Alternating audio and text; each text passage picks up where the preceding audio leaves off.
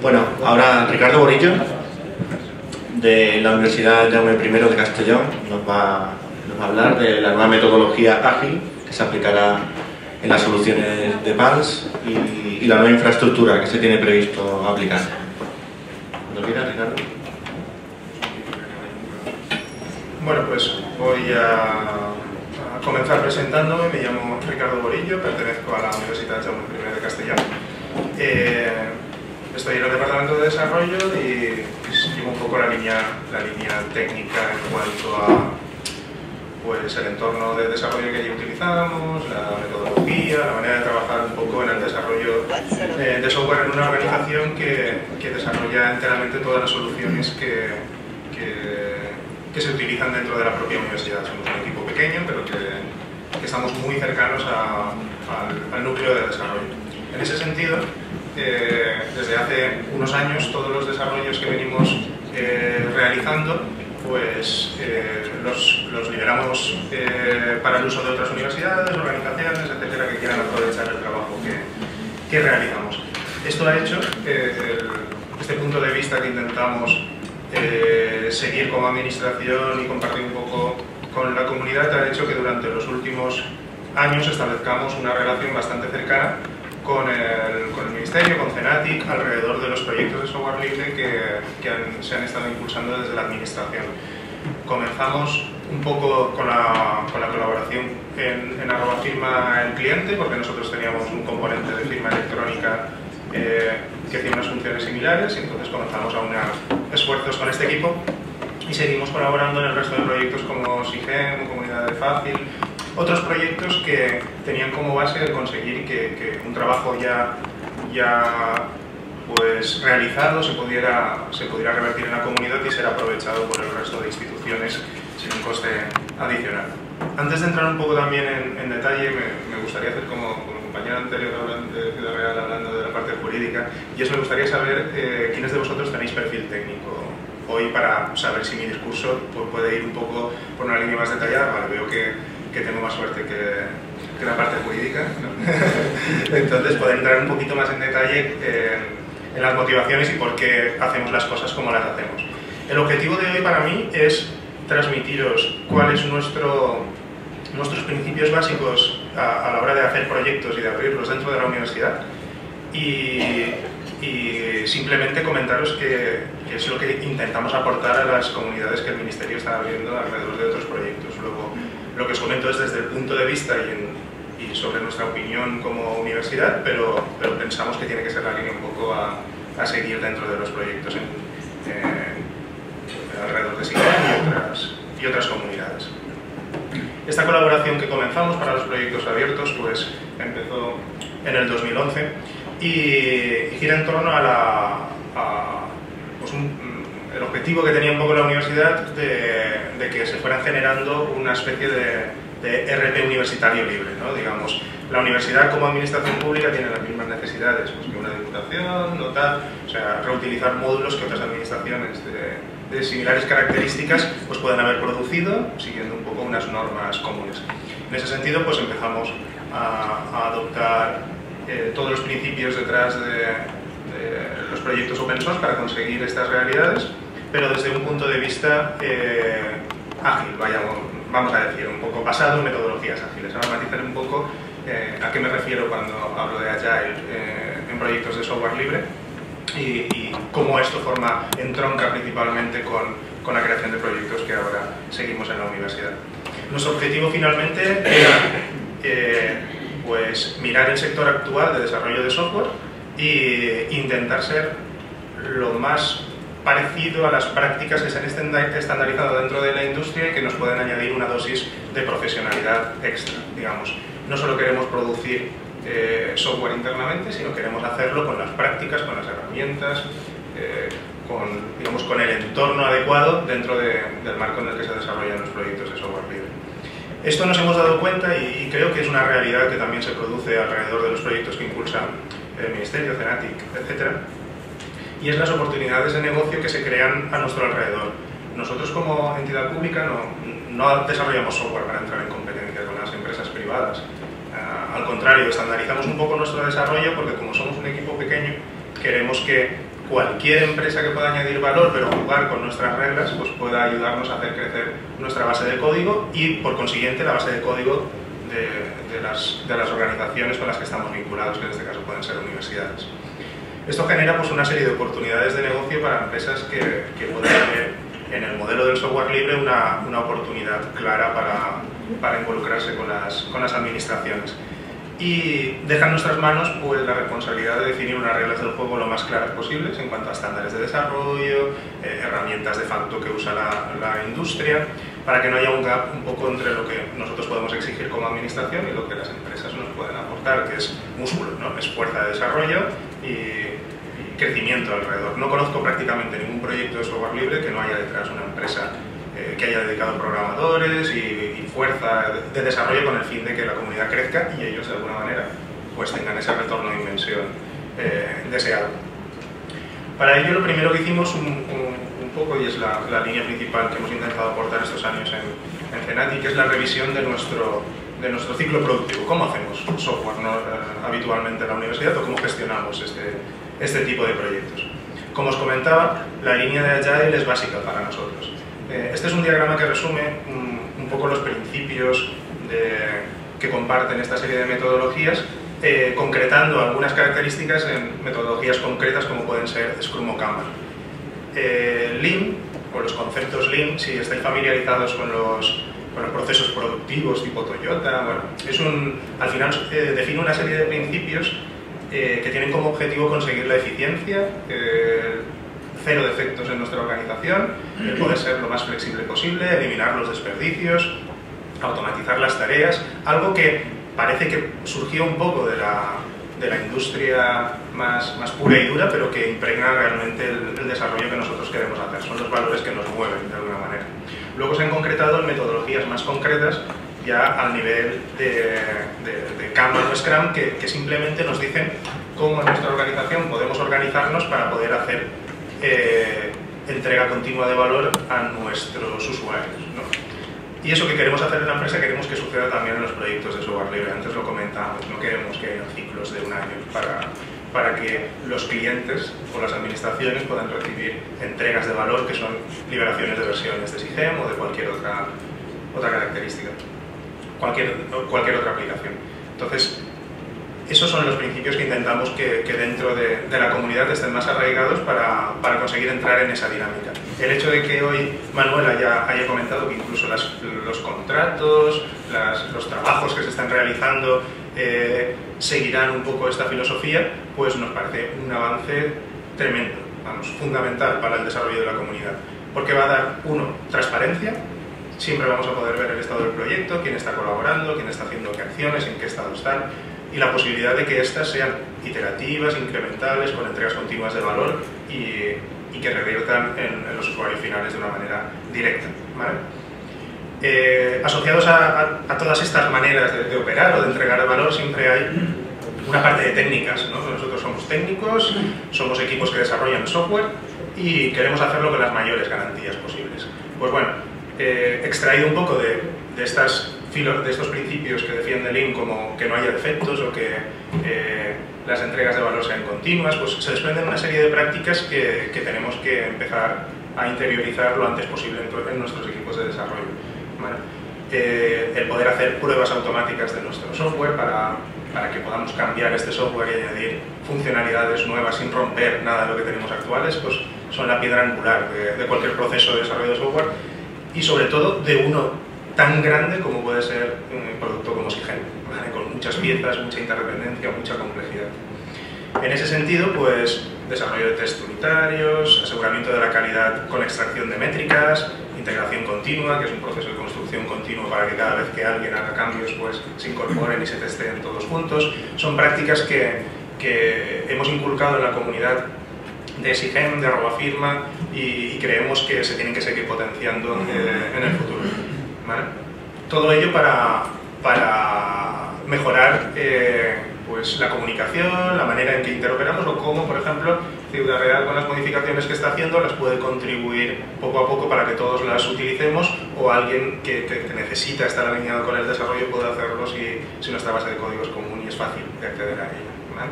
Estas herramientas tienen ese propósito.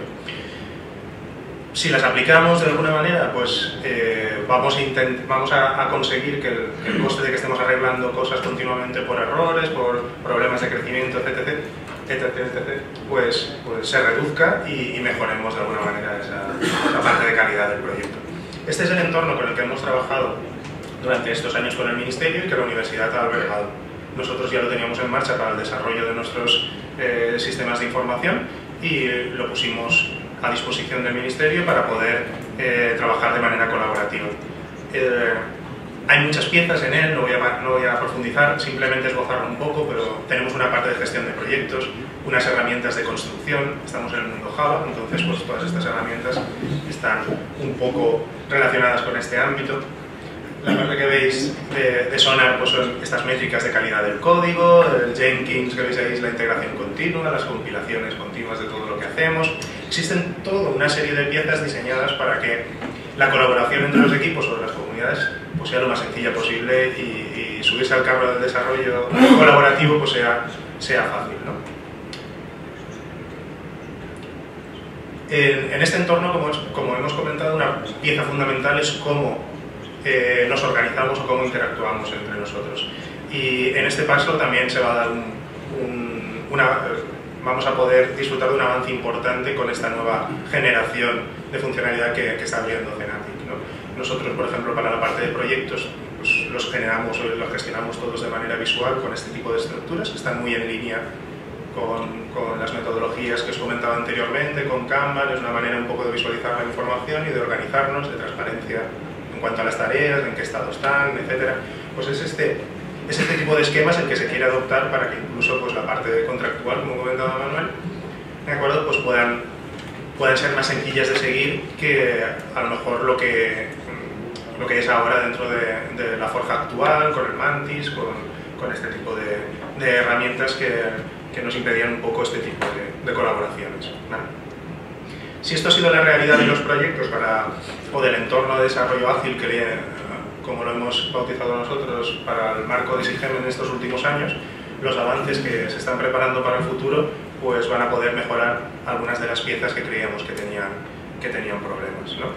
Lo primero será pues, que, que, toda esta base de código abierto pues, empezar a mirar hacia, hacia el cloud. Y, he dicho cloud y soy uno de, de, las personas que suelen criticar mucho el, términos tan viciados y tan, tan deformados ya en la industria, pero simplemente quiero referirme a, a cloud por aquellos servicios que como desarrollador tengo públicos como infraestructura, puedo acceder a ellos y los usaría en mi empresa de manera habitual y que podemos hacer uso de ellos para, para, reducir costes en la administración y para dar visibilidad donde los programadores trabajan, ¿vale? que no son en las forjas internas de los ministerios, sino en los repositorios abiertos, con las herramientas abiertas y en los entornos donde los programadores se mueven.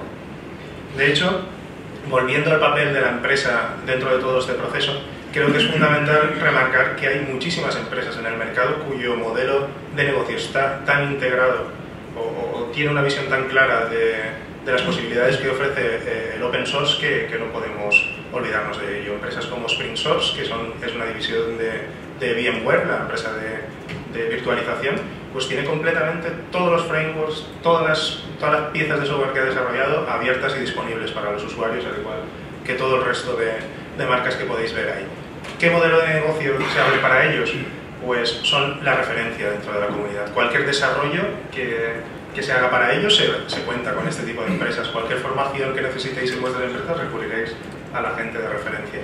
O sea, de alguna manera mm, es el cambio de mentalidad dentro de, de, de este nuevo paradigma un poco que, que, generan este tipo de comunidades. Y aquí puede estar cualquier, cualquiera que esté haciendo ahora un desarrollo profesional. ¿vale? Un modelo colaborativo en el que se puede crecer y hay muchas oportunidades de negocio para todos.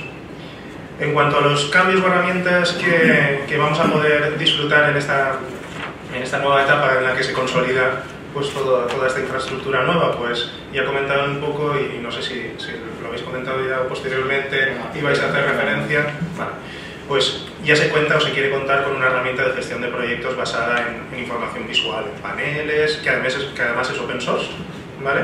se llama Taiga, y que podéis utilizar en vuestras administraciones, pero que ahora tendréis a disposición pues, para llevar la gestión de los proyectos actuales, para poder enviar un PUB, para eh, planificar una, una nueva tarea, una nueva funcionalidad tras una reunión del comité técnico, o por sugerencia de gente en la lista, o, lo que sea, un punto de, de, entrada para todo, para todo lo que estamos haciendo actualmente en los proyectos. El segundo, la segunda pieza fundamental que que ya ha habido un, spoiler previo ahí en medio de las preguntas, pero bueno, es el paso de la infraestructura de Git actual de Zenatic a, GitHub. ¿vale? Sí hay un paradigma de, repositorio de código abierto actualmente y un, y un, modelo de compartición donde se mueven todos los proyectos de software libre es el que, el que nos ofrece GitHub. Nos va a permitir pues, eh, dinámicas como la que comentaba nuestro compañero, en la que yo puedo tener una rama de desarrollo tener mis modificaciones y poder seguir contribuyendo a la base común eh, sin ningún tipo de impedimento, a través de los mecanismos que ya están habilitados en este tipo de herramientas. Luego la colaboración y la visibilidad de todo lo que se hace pues aumenta radicalmente. Eso es una de las piezas angulares. De hecho, este es, este es otro de los puntos que, que, nosotros creemos que se tiene que potenciar y, y, y así lo estamos trasladando siempre, y es que estamos acostumbrados a ver los repositorios de código de nuestros proyectos que constituyen quizá el, core que, hablaba Antonio, de, proyectos como SIGEM, la funcionalidad básica, el motor, de, cómo funcionan todas las cosas. Pero hay una parte muy importante y que se puede complementar, complementar con otros repositorios, que es cómo gestionamos esas integraciones que en un momento determinado necesitamos hacer contra FACE, contra Creta o contra cualquier tipo de sistema que tengamos que interoperar, sea ese sistema uno nuestro propio o de un subconjunto de nosotros. Luego, a partir del crecimiento del core, en nuestra opinión, van a evolucionar varios repositorios más. Y el tercero, que es bastante importante, es eh, el conocimiento funcional que tenéis de las herramientas. O sea, hay que empezar a tener una base común de intercambio de trámites que entre administraciones hemos sido capaces de realizar y que estamos en disposición de contribuir para que cualquier otro pues, no tenga que pasar por todo el proceso de definición, sino directamente eh, cogerlo y poderlo, poderlo reutilizar. En este sentido queremos ir un poquito más allá en la infraestructura, no solo la gestión del proyecto, no solo la parte de código, que está muy bien, sino analizar un poco el mercado eh, de este tipo de herramientas y ver eh, qué soluciones se me ofrecen en la nube para dar los servicios que nosotros como universidad estábamos dando a la comunidad y que ahora tienen que tomar entidad a nivel de, de Cenatic. Y una de ellas puede ser Travis, por ejemplo. Es un ejemplo muy paradigmático de un servicio de integración continua como el de Jenkins, ese monitor que tenemos siempre mirando que el código compila, que los tests pasan, que la documentación se genera, un poco esa es, su función, y que tenemos disponible para proyectos de open source. Esta plataforma es de pago para proyectos privados, pero para proyectos de open source se puede utilizar eh, sin ningún tipo de problema. Y nos, nos elimina la necesidad de tener este servicio albergado directamente en nuestra infraestructura. Es transparente, está, todos los desarrolladores que trabajan con GitHub y tienen integrado integración continua, utilizan este tipo de servicios y sigue un poco la línea de, la filosofía que estamos, que estamos marcando, que estamos haciendo. Y bueno, y el paso, el, pasos posteriores están claros, ¿no? Hablamos de infraestructura pública, pues claramente ahora mismo existen muchos proveedores de, de cloud que nos, nos independizan o, o, nos pueden evitar la necesidad de tener infraestructura propia para poder desplegar las aplicaciones que necesitamos. Aquí no estamos hablando de, puesta en producción de SIGEM, pero sí de un espacio donde los servicios comunes de infraestructura del entorno de desarrollo y, por ejemplo, esa, esa demo que muchas veces nos hace falta para enseñar el producto y ver el estado del, proyecto en un momento determinado, pues pueden estar albergadas en esos puntos. Bueno, eso es mi o... Vale, me quedan nada, dos y termino ya. ¿vale? Eh, para nosotros, puntos importantes que hay que, potenciar y que afirmar.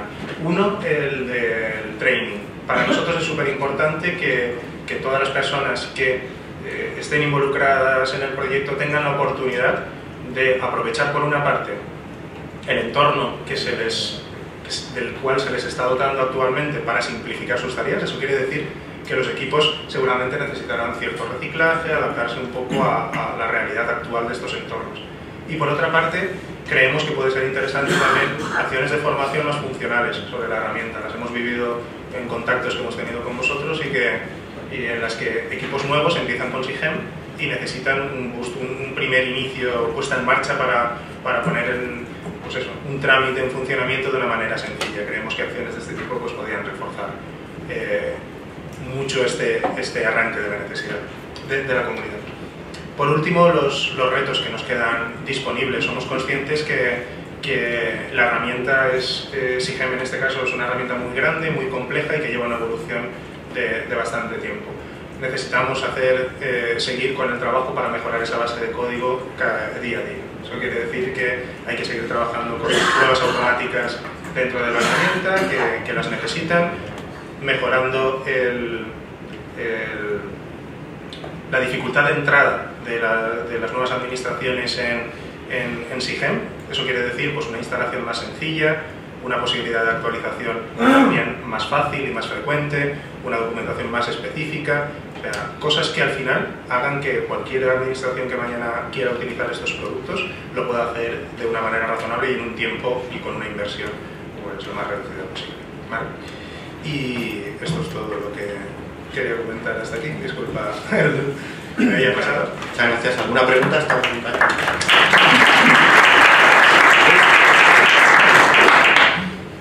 Sí, hay un pequeño turno de preguntas, es posible porque vamos de tiempo, pequeño. ¿Hay alguna pregunta? Bien, vale, perfecta. Muy claro, gracias Ricardo.